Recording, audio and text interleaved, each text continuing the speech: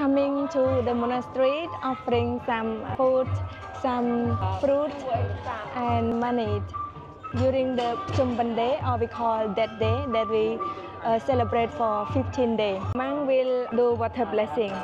They always bring the family together to monastery. This one is Cambodian uh, traditional way. And so right now I'm at the north of the monastery, north of Angkor. If you come to Angkor Wat, you will allow to try in. Normally you're not allowed, but because of the special day, that's why you allow to try in if you come to the monastery for offering some food here. After that, don't forget to collect your I don't know how to call, but in Cambodian we call chan sra. Um, uh, recently, Cambodians celebrate Pchum Ben Festival. The people coming here for testing banana leaf sticky rice. That the people gathering together to make the sticky rice cake or with a pork or banana. It depends on your favorite.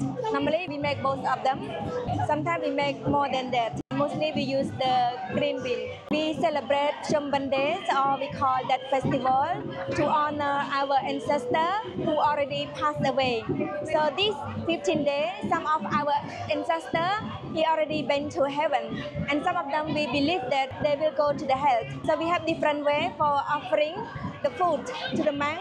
If we offering proper food offering to the monks, that's for our ancestor who already been to the heaven or return back to our life. If our ancestor in the hell, we need to do sticky rice balls. Uh, we need to get up early to make it by ourselves, or you can buy it. Some fruit or some decoration. Get up very early when the sun not come out yet.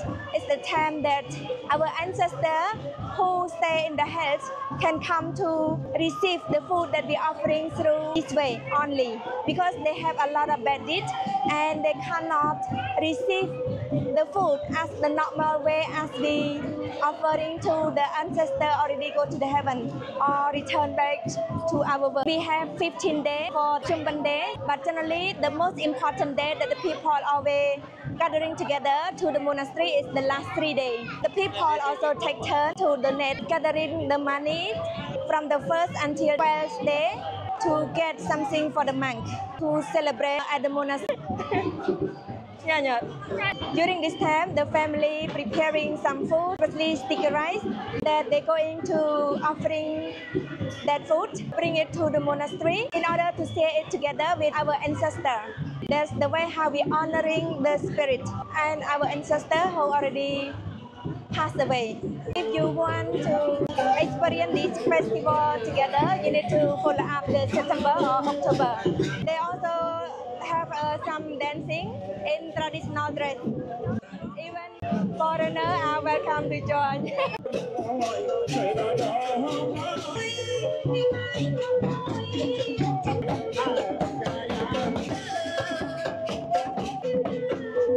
For me, I don't like dancing, but I can dance too, but not that good.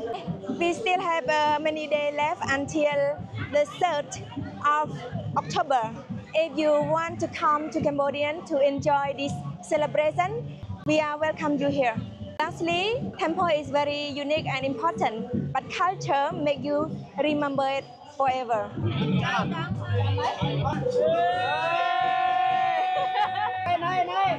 I meet my friend along the way here. Okay. อ๋อเติมไฮอ่ะ Còn hai à? มวยมวยบ้าน Sao đấy, Luke? อาทิตย์ this one is the activity of fighting for sticky rice cake. Oh. okay. Oh.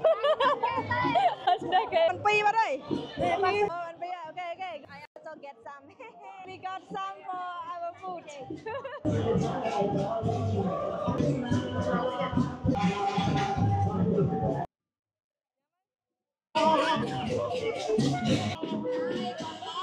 different country, different culture. If you want to learn more about this culture, I will bring you to the monastery. Just let me know.